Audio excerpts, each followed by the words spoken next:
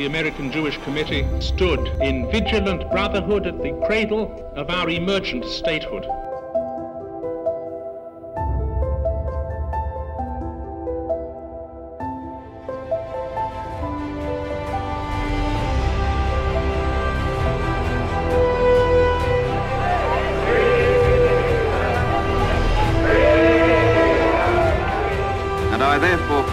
Declare Israel admitted to membership in the United Nations.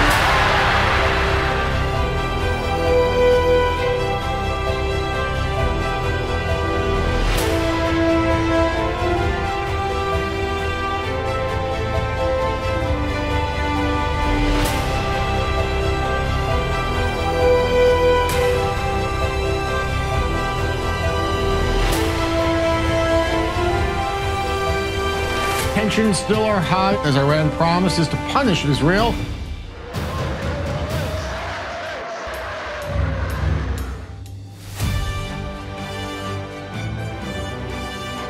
This day is a pivot of history. It heralds a new dawn of peace. For Jews and Muslims to come together to Auschwitz and Birkenau, it was an historic day.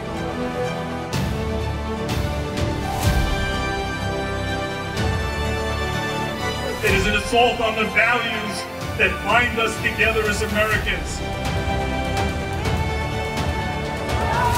We have such a strong and long history of Black America and the Jewish community coming together.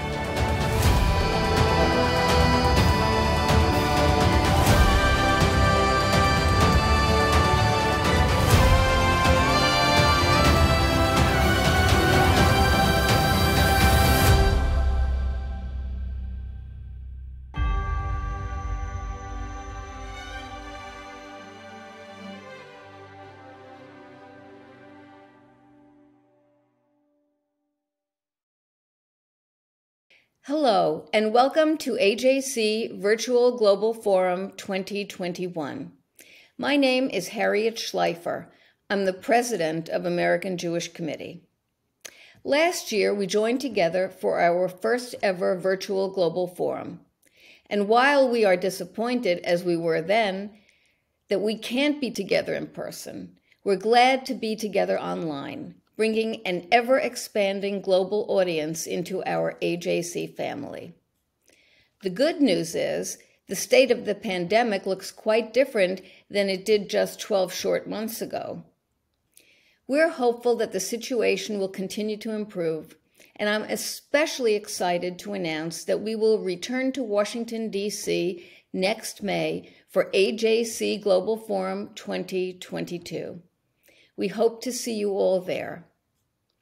For those of you who are tuning into AJC programming for the first time, American Jewish Committee is the leading global Jewish advocacy organization working to fight anti Semitism and all forms of hate, strengthen Israel's place in the world, and defend democratic values.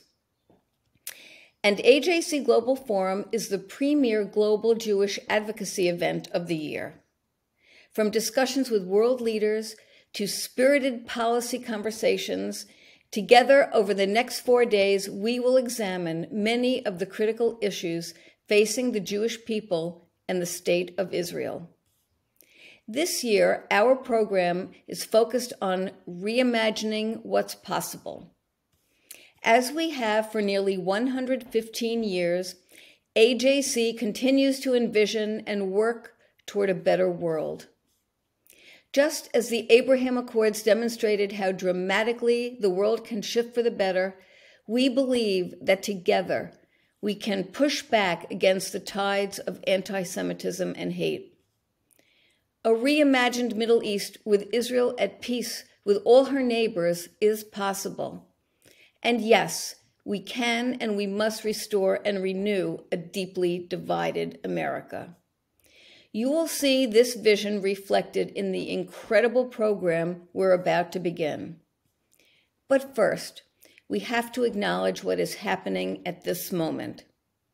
Like many of you, I'm deeply upset and angered by recent events. We witnessed an assault on the state of Israel both by the terrorists on its borders and in the war of public opinion. Then we saw a surge in anti Semitism around the world, including here at home. Jews were attacked in the streets from New York to Los Angeles simply for being Jewish. Even as we see a future full of possibilities and big ideas, we also know that this moment requires our urgent attention. And when I say our attention, I mean not only AJC's, but the attention of all people of goodwill. Though this moment feels particularly difficult, as a Jew, I feel commanded to believe in tikva, hope. In that spirit, it's my pleasure to introduce a lifelong Jewish activist who's been in the trenches for decades, but has never stopped reimagining what's possible. Our CEO, David Harris. Thank you, Harriet, for your passionate leadership. Since Israel's rebirth in May 1948, AJC has stood by its side. And what a journey it's been. In 1948, 650,000 Jews lived in what is today Israel. It was just three years after the Shoah, and five standing Arab armies set out to destroy the embryonic state.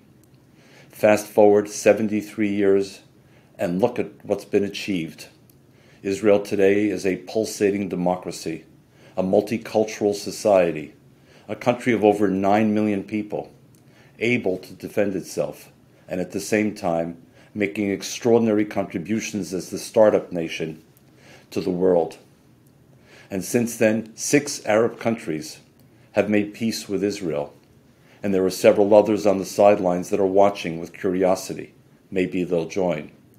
But in the meantime, there are still others, states and non state actors, who still wish to destroy the Jewish state.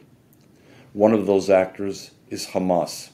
And last month, encouraged by its sponsor Iran, it launched another war against the state of Israel. And thousands of rockets were fired from Gaza indiscriminately across Israel, sending millions of Israelis into shelters, while the IDF sought to defend the country against the terrorists. We, AJC, stood with Israel then as we do always. And as soon as the conflict ended, we took a solidarity mission to Israel. And while we were there, people expressed their appreciation for our visit. But they also asked us did others understand what had happened? Did others understand the difference between an aggressor, Hamas, and the victim, Israel? Between the arsonist Hamas and the firefighter Israel. And we were able to say that yes, there were many who did, even as there were others who refused to. And among those who stood by Israel's side were 30 nations. We believe that a friend in need is indeed a friend indeed. And we want to honor those 30 nations. And we want you to know those 30 nations as well. And we hope you'll find ways to express your gratitude as we have done. And by extension, you'll see nations that are missing. Some may be surprising omissions, but no, they did not stand by Israel's side. Either they stood on the 50 yard line issuing wishy washy statements, or they simply vanished. But we want to honor those 30 nations, and following the short video you're about to see, we also wanted to bring you the faces and the voices and the stories of five remarkable Israelis.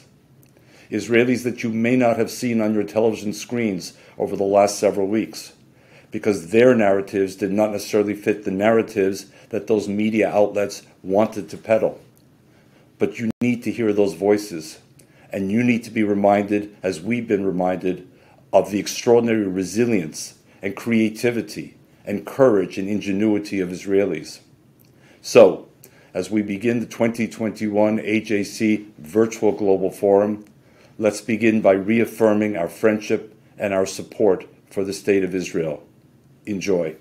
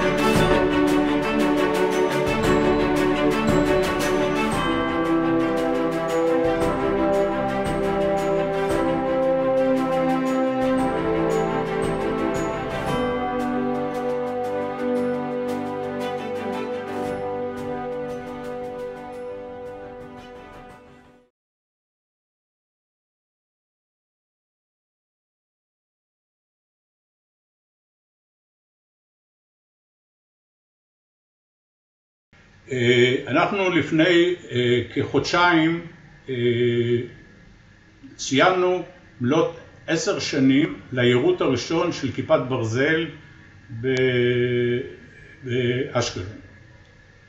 היה אירוע תקשורתי רב מאוד, שאחר כך בעקבות ההסלמה שהייתה בדרום, האירוע הזה קצת דעך, אבל יש לו חשיבות. רפאל, שאני הייתי ראש חטיבת הטילים ומערכות נגד טילים ברפאל, עשתה משהו שאף אחד לא האמין שאפשר לעשות, וזה שתוך שלוש שנים הצלחנו לממש מערכת מצילת חיים. אני חושב שצריך להסביר איך זה קרה שהצלחנו תוך שלוש שנים, מה הדבר שדחף אותנו, שגרם לנו למוטיבציה הגדולה הזאת שתוך שלוש שנים אנחנו הצלחנו אה, לפתח מערכת מאוד מורכבת. אז קודם כל יש לנו כמובן ברפאל את הניסיון בפיתוח של טילי אוויר אוויר מתקדמים ומערכות אחרות, ככה שהיינו בשלים מבחינה טכנית לעשות את הדבר הזה. אבל אני חושב שצריך להבין עוד משהו. ההורים שלי אה, ברחו מפולין לרוסיה במלחמת העולם השנייה כי לא היה מה שיגן עליהם. גם במלחמת, במלחמת המפרץ ב-1991 אה, אנשים ברחו מהמרכז לצפון כי מעיראק יראו עלינו סקאדים ולא היה מה שיגן עלינו. אפילו במלחמת לבנון השנייה ב-2006 אה, אנשים עזבו את הצפון ועברו למרכז ולדרום כי לא הייתה מערכת שתגן עליהם. אז אם יש משהו שלמדנו מכל ההיסטוריה הזאת זה שמדינת ישראל חייבת שתהיה לה מערכת שיודעת להגן על אזרחיה. אבל יש עוד משהו. אני חושב שמערכת אה, כיפת ברזל מגינה לא רק על, מד... על אה, תושבי מדינת ישראל, אלא היא מגינה גם על הערבים תושבי עזה. אני בטוח שאם לא הייתה מערכת כיפת ברזל במדינת ישראל שהצילה עשרות ומאות של אנשים והצילה רכוש רב, אני בטוח שהיה צריך להיכנס לתוך עזה בכוחות אה, טנקים, מטוסים, אה, חיל רגלים וכך הלאה, מה שהיה גורם כמובן לנפגעים בצד הישראלי, אבל גם היה גורם לאלפי הרוגים בעזה. ולכן בסך הכל מערכת כיפת ברזל היא מצילת חיים גם בישראל, אבל גם אה, לאלה שתוקפים אותנו. אני מציין את זה בגלל שאנשים אומרים, אה, זה לא פייר, למדינת ישראל יש כיפת ברזל ולנו לא היה, אז לכן היה להם יותר קל. אז אני אומר שכיפת ברזל זאת המערכת שעזרה גם לזה שכמות הנפגעים בעזה הייתה המינימלית, ואני יודע מידע אישי שצה"ל עשה את כל מה שהוא יכול כדי להמעיט בפגיעה בלא מעורבים. אני חושב שזו הגדולה שלנו, גם לדעת להגן על עצמנו היטב וגם להתקיף את היעדים הנכונים ולא להתקיף אה, לא מעורבים. נכון, נפגעים אנשים משני הצדדים, אה, נהרגו ילדים בעזה, נהרג ילד חמוד בן חמש באשקלון, ילד חמוד שלא עשה שום דבר, הוא פשוט היה בחדר וירו עליו רקטה, הרקטה הזאת פגעה בו. במקרה הזה כיפת ברזל שיש לה אה, סיכויי אה, הגנה מאוד גבוהים של מעל 90 אחוז, לא הצליחה להשמיד את הרקטה, הרקטה פגעה בבניין וילד בן חמש, דניאל, נהרג. היינו מאוד עצובים לשמוע את הדבר הזה. סך הכל מערכת כיפת ברזל היא מערכת שפותחה במאמץ מאוד גדול ישראלי, אבל ההצטיידות של המערכת כל הטילים שנקנו וכך הלאה הם אה, הצטיידות אה, בזכות הכסף האמריקאי שהגיע למדינת ישראל. הכסף האמריקאי שהגיע למדינת ישראל, אני חושב שכל דולר שהגיע אפשר לסמן באיזה בית הוא הציל את התושבים שלו או את הבית שלו מפגיעה מרקטה שנורית על עזה. הם בעזה יורים עלינו רקטות כדי לפגוע באזרחים. אנחנו משתדלים ככל שאפשר, ואמרתי את זה מקודם, למנוע הרג של אזרחים ולהגן בסך הכל על החיים של עצמנו. אז כיפת ברזל היא סיפור הצלחה גם במובן של הפיתוח המהיר והמוצלח, גם במובן של הטכנולוגיה ש- ש- שהוצגה פה, גם במובן של הלוחות הזמנים הקצרים, אבל גם במבחן התוצאה של הצלה של כל כך הרבה אנשים מהרג מיותר. אני מקווה שיבוא היום שבו השכנים שלנו יבינו שהם צריכים להפסיק עם המלחמות האלה ולעשות איתנו שלום. כל אזרחי ישראל, כל מי שאני מכיר במדינת ישראל, מחפש ומחכה לשלום הזה. אבל כל זמן שאין את השלום הזה, אני אומר שטוב שיש כיפת ברזל. זה הסיפור האמיתי של כיפת ברזל, שלא תשמעו את זה בתקשורת. Hello, my name is Alice Kalman. I'm a lieutenant in the reserve of Iron Dome in the Israeli Air Forces. In March 2015, I started my mandatory service. I decided to volunteer to the combat forces, where men and women have the same conditions and duties. Throughout my six years of service, I had the privilege to command soldiers and participate in protecting the citizens of Israel. My grandmother and grandfather live in Ashkelon, a city located in the south of Israel that suffers from a heavy rocket fire for a long period of time. For me and many others, serving in the Iron Dome is not only a national mission, but also a personal one. During the last conflict between Hamas and Israel, we suffered a very intensive rocket fire to many Israeli cities. We had the urgent need to protect ourselves. As soon as the siren started, a lot of released soldiers and officers were called to the reserve in order to help our units. People left their jobs, schools, and families in order to give a hand in the intensive mission of homeland defense. 75% of the rocket that has been fired into Israel over the last decade were fired during the span of nine days in the last operation. Thanks to the hard work of Iron Dome soldiers and many others, we were able to intercept 90% of the rockets launched to Israeli cities.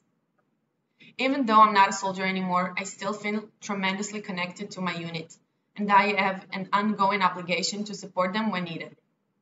I'm enormously proud to be a part of a system that protects so many people, including my own friends and family. We have a responsibility to protect one another.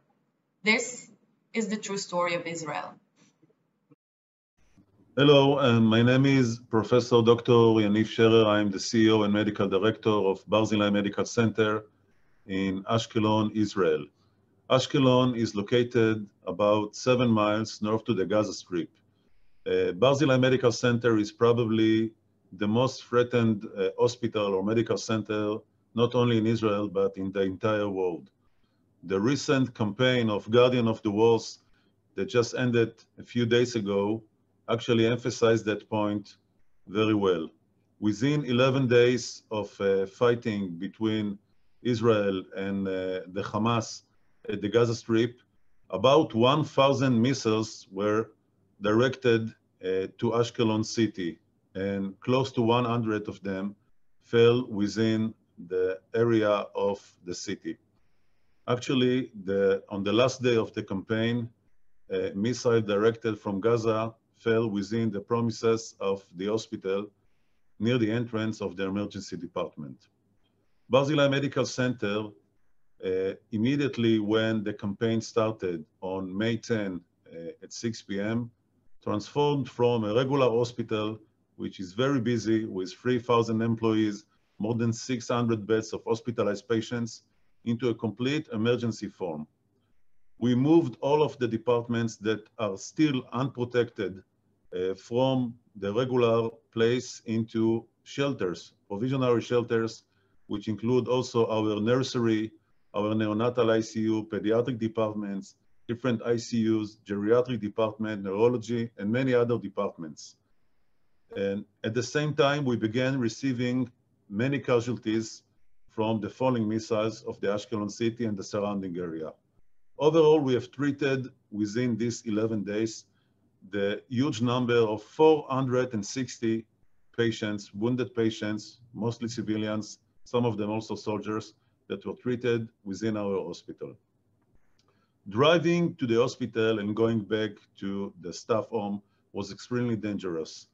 And although we have made sure that all of the patients and families and the staff are safe within the hospital because they were transferred into shelters.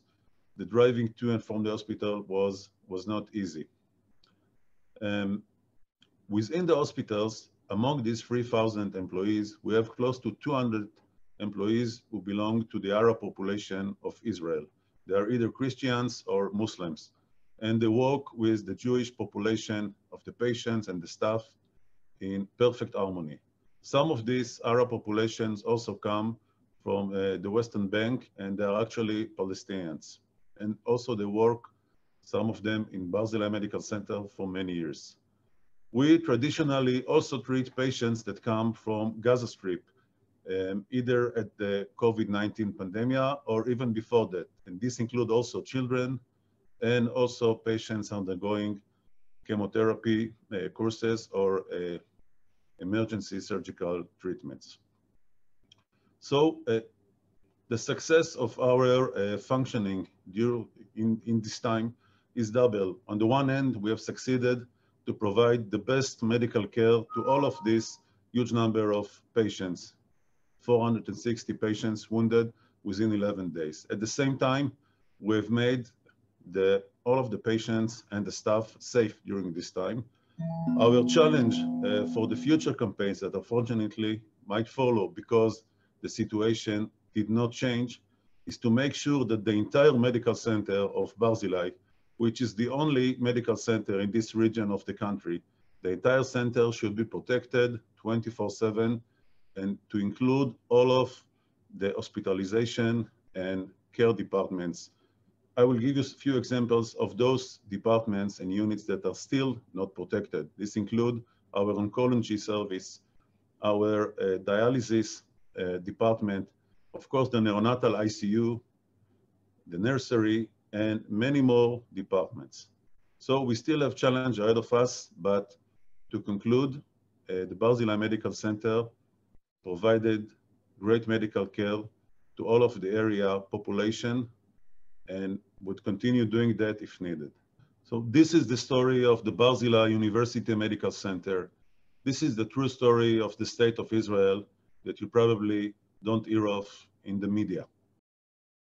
Hello, my name is Erez Shitrit. I'm the Director of Security and Emergency in the city of Ashkelon. I'm here today to tell you my story about how it is to live in the city of Ashkelon under the threat, the ongoing threat from Gaza. This is a very unique situation we are at, at the city of Ashkelon. First, we have to understand that Ashkelon is the largest city on the southern border of Israel with Gaza, under the Mediterranean shores. It's a very peaceful city, very green city, in which people live calmly, asking for nothing but a day-to-day life, peace. And the past 20 years, we are suffering the most from the neighbors in the south. We should be very close neighbors. We should be very good friends, but we're not.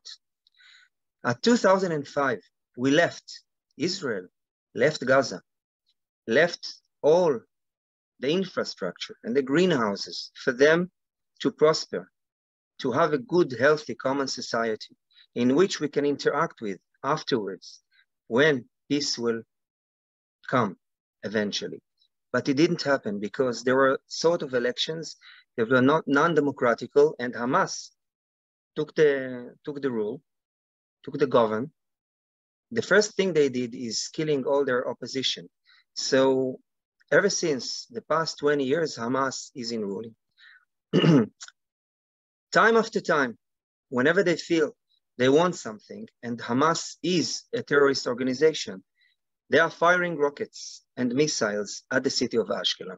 They are firing at all the area, all the terrains. But the city of Ashkelon is the biggest and most populated city close to Gaza. It means that it's so simple to hit Ashkelon. We were very fortunate to have the Iron Dome invented a few years back. It gave us a sense of security because it's the most sophisticated um, defense system in the world, probably, definitely in Israel. But even the most protected system is only protecting 90%, 90% of all the rockets fired to Ashkelon. It's a Russian roulette. Nobody wants to play Russian roulette with their lives. Nobody, and we, parents, what can we tell our kids? The alarm sound. We run into the bomb shelter if you have one. And we're waiting. The bomb shelter is not fully protected. And when the missiles fall on the ground, it's like an earthquake. The explosions, I can't describe it. You have to experience it to understand what it means to live in a war zone. And this is a war zone. The city of Ashkelon was a war zone for 14 days and nights. I spent outside running from arena to arena, from a scene to a scene, going into people's, I didn't know, people's homes I knew nothing about. I only got in my radio. Where it fell, I rushed there with my car or by foot to see a scene after scene, to see people injured, dead. You should understand it's only 15 seconds, 15 seconds until it hits you. Now, what are 15 seconds? You're sitting watching your favorite TV show. It takes your mind a second or two to understand that the alarm is on again.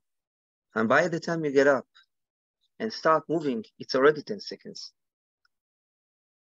The one sided coverage of the conflict is so painful to me because I'm watching foreign news. I also read, I speak and read Arabic. And I see how the conflict is represented. We are doing massacres. We are harming the innocent. Free Gaza. Free Gaza from what, people? Gaza is free. We don't rule Gaza. And I'm not speaking on the political point of view. I'm speaking as a father, as a person, as a neighbor of Gaza, from Ashkelon, to the people of Gaza in Gaza. I don't have hatred for the people in Gaza. But I'm having difficult times in understanding why. Why do they keep choosing this path of blood and death?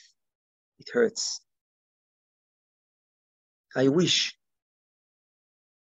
that the world could hear our stories, could understand that we want, we want peace. We want our kids to be raised without alarms. We want to be able to open the borders with Gaza. We want to be able to go to the markets of Gaza, to buy in their markets, maybe to support their economy, to allow them to visit us. But in order for this to happen, they have to change something a very big issue in the, the way they think. First of all, they have to recognize our right to exist. The conflict is long lasting. Sometimes it looks like an endless cycle of war and blood, but I can assure you, it must be. It has to come to an end eventually. And if the world will be smart enough, clever enough to give both sides the opportunity to be heard objectively, it will only aid both sides to end the conflict.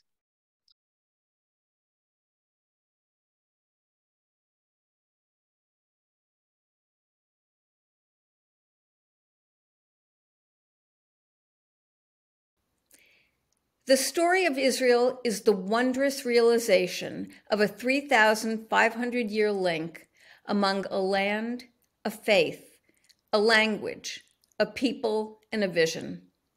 It's an unparalleled story of tenacity and determination, of courage and renewal. And it's ultimately a metaphor for the triumph of enduring hope over the temptation of despair. It's my honor today to introduce Israeli President Reuven Rivlin. President Rivlin is a dear friend of AJC. You could even say he's part of our family.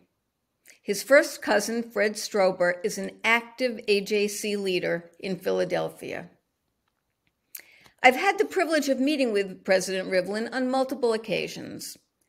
I recall vividly when the president hosted an AJC delegation at his residence in 2018 during our global forum in Israel, the largest ever American Jewish advocacy event in Jerusalem's history. President Rivlin, we want you to know that the theme of this year's AJC Global Forum is reimagining what's possible. As president, you have indeed reimagined what's possible, both in the larger Middle East and also in the vital link between Israel and the diaspora relations, and have made an everlasting contribution to Israel and the Jewish people. As your term comes to a close, Mr. President, we'd like to take this opportunity to salute you. Your voice has been one of unity and moral clarity. Your ability to bring together Israelis of all backgrounds in common cause will be among your most enduring legacies. Ladies and gentlemen, President Reuven Rivlin. Dear friends, it is. It is a great pleasure to take part in AJC Global Forum. For many years, the AJC has played a central role in advocating for the Jewish people, combating anti Semitism, BDS, and supporting Israel's fight against terror. It has been a pleasure to host AJC delegations, and we deeply appreciate the Solidarity delegation which came to Israel during the last conflict.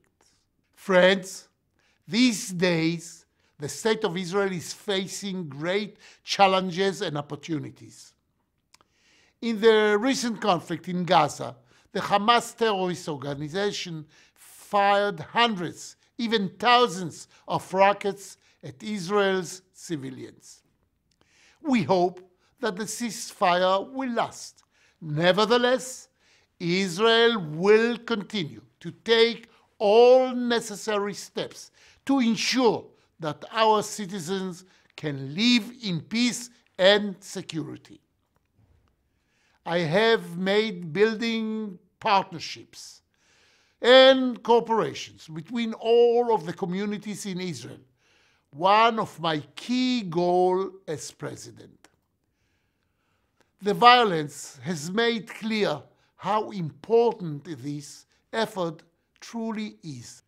It will not be easy, but we must always remember that we are not doomed to live together. We are destined to live together. And we must, we must walk together down the path of understanding and cooperation.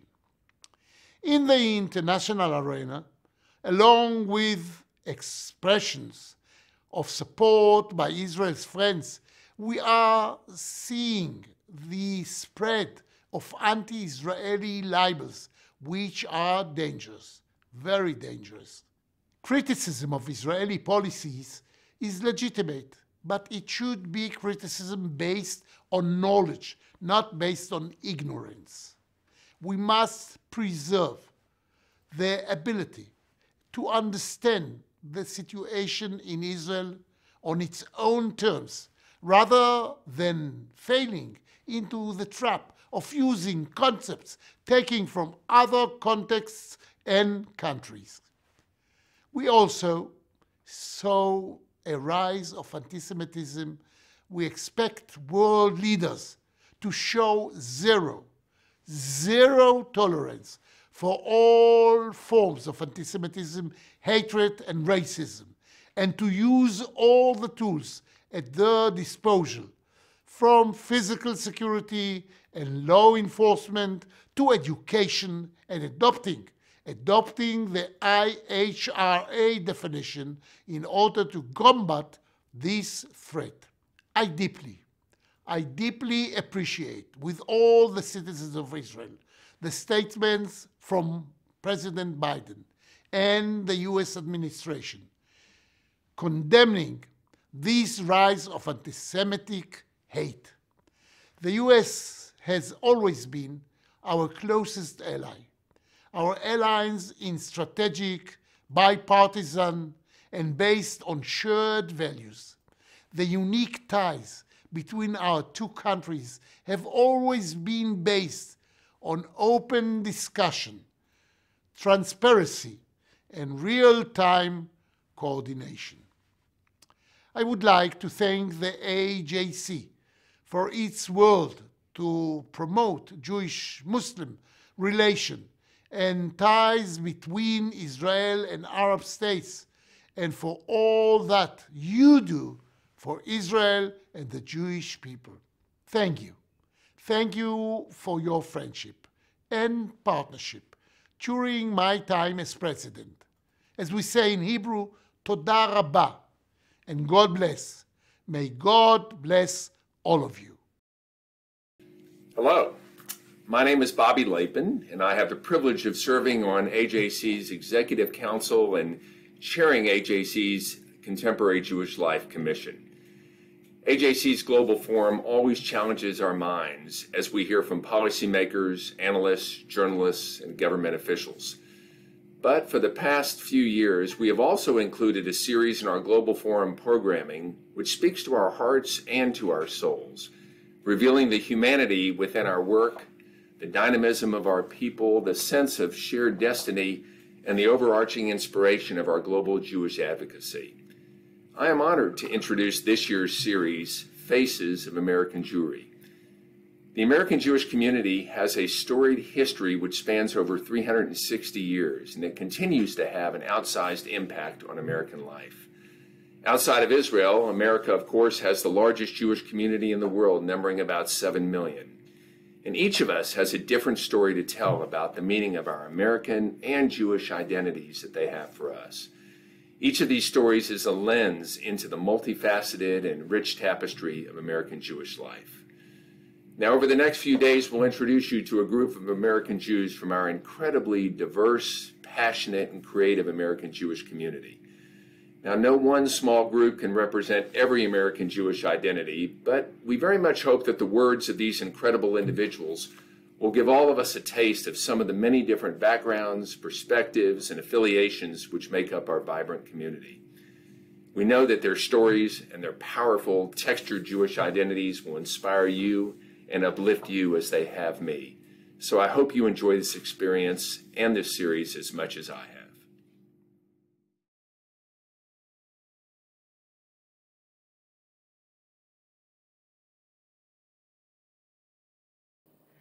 My name is Erica Mindel, and I work for Project Interchange at American Jewish Committee. I grew up in a traditional conservative household. I went to a traditional Jewish day school, a traditional conservative summer camp, and like many other American Jews, I took a gap year before college and spent 10 months living in Israel, where I participated in a program that was centered around exploring and understanding Jewry worldwide. My sophomore year at the University of Michigan, a BDS resolution was presented to the student government. Like many other committed American Jews I knew on campus, I decided to get involved in combating it. I committed myself wholeheartedly to engaging with student leaders on the topic of the Israeli Palestinian conflict. Our conversations quickly became a microcosm of a century long conflict happening on the other side of the world.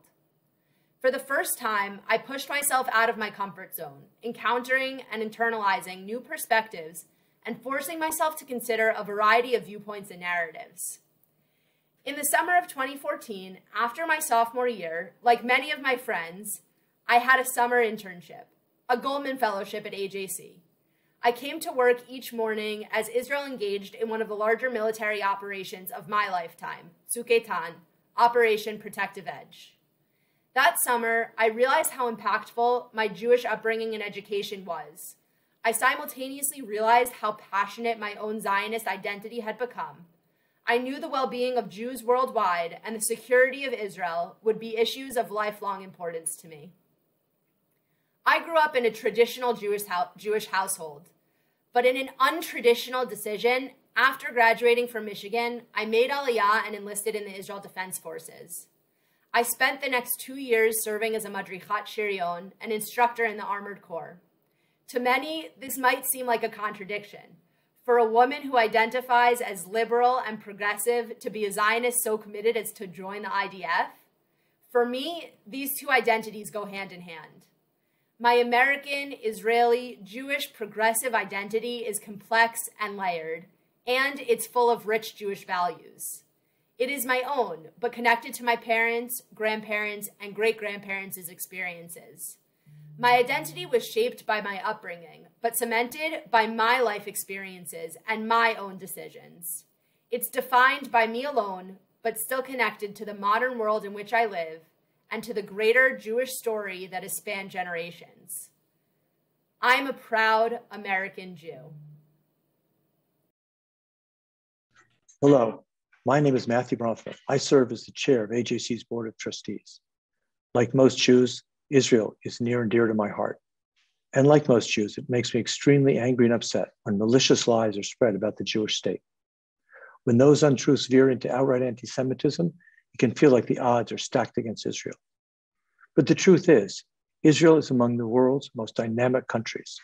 Why? Because the Jewish people dared to reimagine what's possible. Israel is the worldwide leader in administering the COVID 19 vaccine. The Israeli technology scene is booming. Israel democracy for all its citizens is flourishing, even if there are few too many elections. And Israel is making peace with its, with its Arab neighbors. This is due to the ingenuity and drive of the Israeli people, of course. But I'm also proud that AJC's persistent advocacy, as Israeli leaders have themselves attested, has opened doors for Israel in places near and far. AJC played a key role in planting the seeds for the Abraham Accords. We've been traveling repeatedly and often quietly in the Arab world for more than 30 years. We've also worked to promote a vision of cooperation and prosperity among Israel and her Eastern Mediterranean neighbors, Greece and Cyprus. We've long championed relations between Israel and Azerbaijan, a key partner and a Shiite majority nation. And as far back as the late 1980s, we urged the Israeli government to focus more attention on Asia, especially India, Japan, and South Korea. We're proud of this record. It's made a real difference in the life of Israel and the Jewish people. But we can never rest on our laurels. The challenges await, the opportunities loom large. Join us in our efforts to reimagine what's possible. Together, let's become authors of history, not observers or bystanders.